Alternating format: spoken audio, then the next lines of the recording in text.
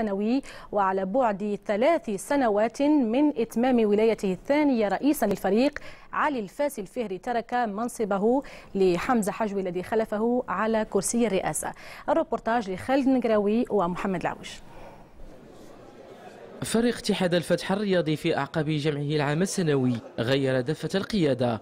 رئيس جديد بدلا عن علي الفاسي الفهري المستقيل وسط سيل من التصفيقات المباركة. حمزة حجوي رئيس المكتب المسير بسط الخطوط العريضة لاستراتيجيته المستقبلية.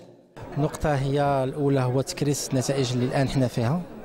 هذا التكريس غيبقى مع الاستمرارية استمرارية في الاستراتيجية. النقطة الثانية هي تكوين وما ما نعرفه قبل التكوين préformation لأن خصنا خصنا نكونوا آه، الآن بعد خمسة سنوات ديال هاد هاد هاد السياسة التكوين خصها تكون عندنا آه، الإمكانية باش باش نعطيو الفريق الأول بعض اللاعبين وندوزو من من ذاك من استراتيجية ديال تصدير الموارد إلى من استيراد الموارد إلى تصدير الموارد.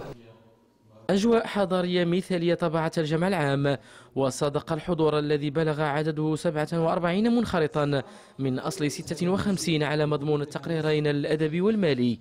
المناسبة كانت مواتية لعرض التركيبة البشرية للفريق. التشبيب هو استراتيجيه ديال المكتب المديري.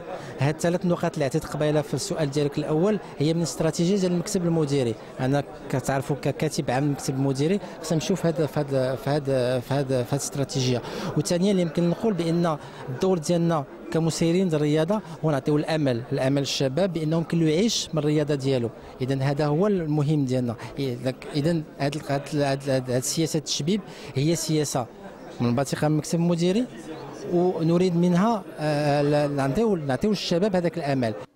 أمل عريضة عبرت عنها مكونات الفتح الرياضي في جمعها العام وحدها مآلات الدوري المغربي للمحترفين. ستبرز مدى نجاح إدارة الفريق في مهمتها الجديدة.